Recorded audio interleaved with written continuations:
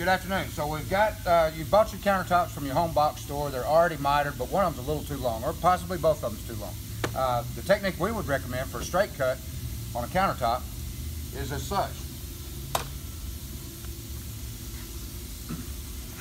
Lay the top upside down and clamp it.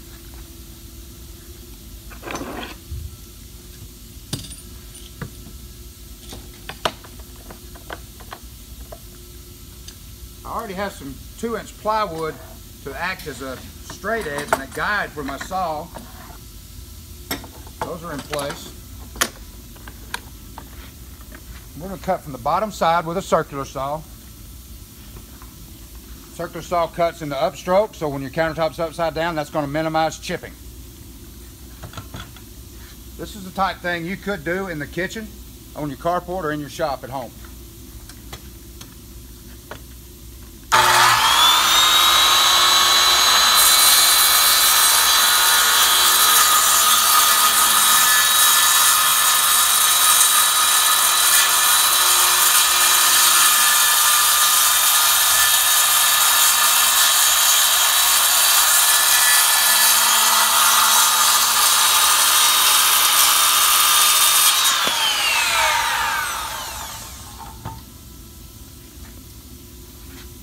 For a longer piece of countertop, you could use another bench or you could have a helper to catch that piece as it comes off, as the blade comes through the top.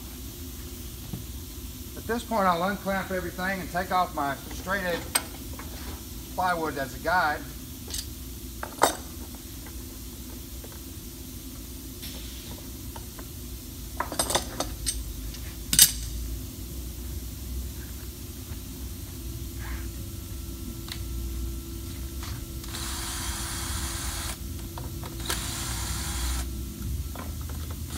I've used three quarter inch plywood with an inch and a quarter drywall screws. The countertop is three quarter thick. So three quarter thickness of the plywood and the countertop, the inch and a quarter screw will not run through the surface, the face side. We can flip the top over.